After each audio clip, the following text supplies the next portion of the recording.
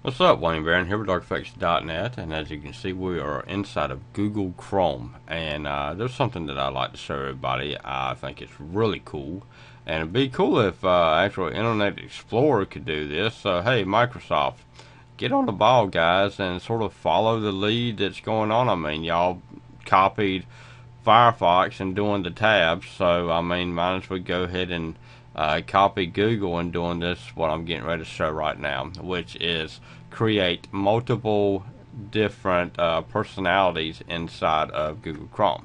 What you do is that you go here, click, go down to settings, and let it load. Then you go down to users. Okay, as you can see, I have no users, just my default users. So we click here, add new user and I'm going to name this user Wayne. And then we're going to create uh, a desktop shortcut. Not really. Create. Okay so this is my Wayne user. And then what I'm going to do here is uh, I will um, go in and add that information in later. And we're going to create a new user. And this one right here is going to be dark effects. Okay. And no then let's choose, choose a horse. Nah, let's choose this little dude here. So then we create this one. Okay, then we got our Dark Effects user. And so what you do is that you sign up each one through uh, however many accounts. I mean, I've got several different accounts. I've got uh, EnterView TV on YouTube, and I've got Dark Effects uh, TV on YouTube. So, and I've got uh, Uh, bring open different browsers or different incognitos inside of Google Chrome in order to be able to work with each one of my YouTube channels.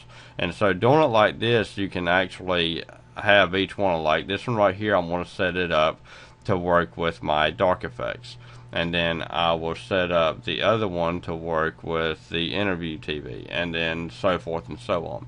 So this makes it really easy. Let's say that you, your wife or your husband, depending on who's listening, um, and you have kids, and each one of y'all want to have a different uh, user inside of Google Chrome. Well, it's really cool because what you do is that you click right here and you got a drop down list. So it shows each individual user so that you'll be able to work with each one of the users. And so let's say that your wife or your husband wants to go on and you're doing something and but they need to do something really quick. Only thing they got to do is just come over here click on it and then jump over to that user and it keeps your browser window open. It just opens up a new instance of the browser window. And so I think this is a really cool uh, um, addition that got added in. I'm not really sure when this got added in. I just found out about it maybe about two or three weeks ago. I've got this done. I've got like six users on my laptop and uh, that I use for testing purposes for local testing. And so, but yeah, uh, I hope that y'all enjoyed this one, and uh, I really enjoy it. So anyway, this is Wayne Barron, DarkEffects.net. Y'all have a rocking week now. Bye bye.